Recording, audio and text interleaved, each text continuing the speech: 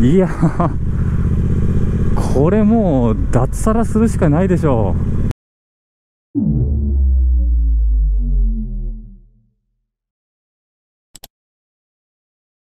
はい皆さんこんにちは。いや久々に天気が良くて今2週間ぶりにバイクに乗っております。まあせっかくなんで喋りながら走ろうかな。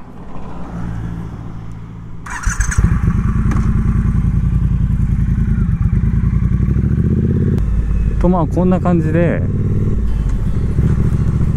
久々に天気が良くて、まあ、2週間ぶりぐらいですかね、まあ、バイクの方に乗ってるんですけどいやーやっぱ天気がいいとね最高っすね。いや乗りたかったよ本当に。ちょっと天気が悪い時に考えてたんですよ。1年でバイクに乗る回数何回なのかなと思ってそれとまあ1ヶ月前ぐらいなんですけどちょっと僕の知り合いの年配ライダーの方と何歳までバイクって乗れますかっていう話をねしてたんですよ。まあその方の話でいくとまあ70歳ぐらいまで現役で乗ってまあ、それ以降は、ね、125cc の小さいバイクとか、ね、スクーターとかそういうのに乗り換えるかなっていう話をしてたんで今日は僕があとバイク何回乗れるかっていう計算をしてきたんで、まあ、ちょっとその辺のねお話をしていこうと思います。はい計算方法なんですけどまあ超ざっくり。大雑把な計算になっちゃうんですけど、まあ、僕が今年齢が32なんでそこから定年まで定年も65じゃなくて、まあ、おそらく今後70歳まで働くっていう計算で出してみたんですけど、まあ、その計算でいくとまず365日を7で割ってまあ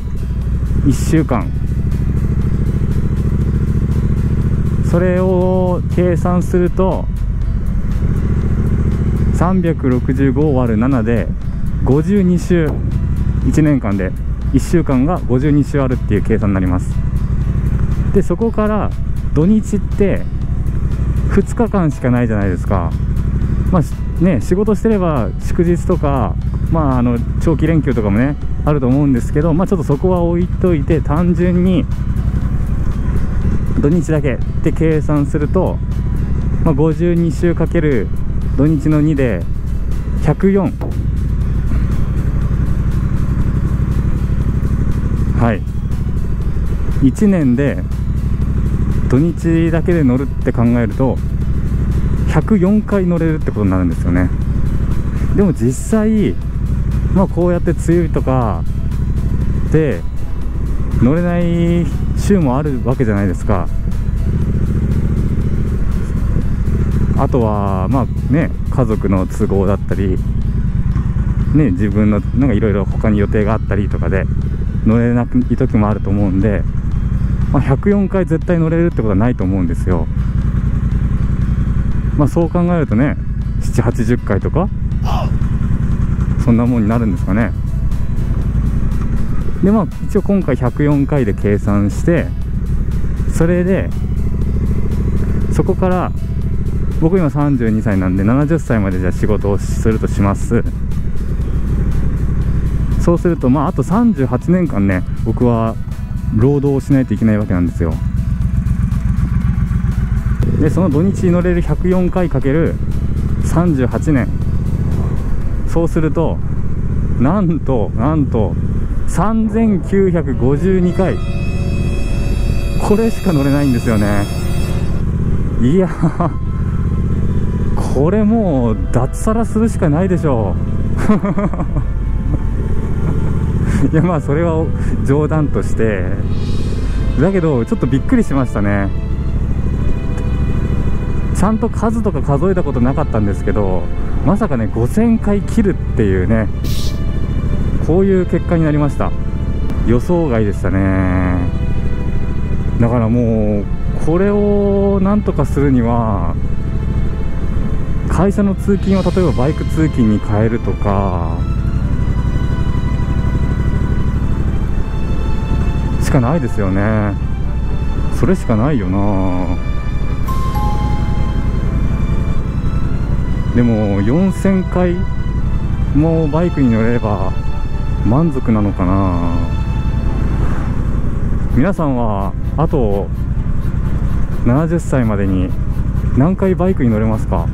もしねよかったらコメント欄で教えていただきたいんですけどこれなかなかね問題ですよね。いやもっとね若い20代とかね10代のうちにねバイクを乗ってればこんなこと気にすることもなかったと思うんですけどまあ20代後半からバイクに乗り始めると意外と乗れる回数が少ないっていうこう衝撃の事実が判明したんで、まあ、今日はねそういうお話でした、まあ、久々に天気もいいんでこのままちょっとフラフラしながら今日は家に帰ろうと思います。はい。簡単でしたけど今日はねあと自分がバイクに何回乗れるかっていうお話でした。それじゃ残りの4000回噛みしめてバイクに乗っていこうと思います、まあ、今回の動画が良かったら高評価チャンネル登録よろしくお願いします。それじゃまた。次回の動画でお会いしましょう。バイバーイ。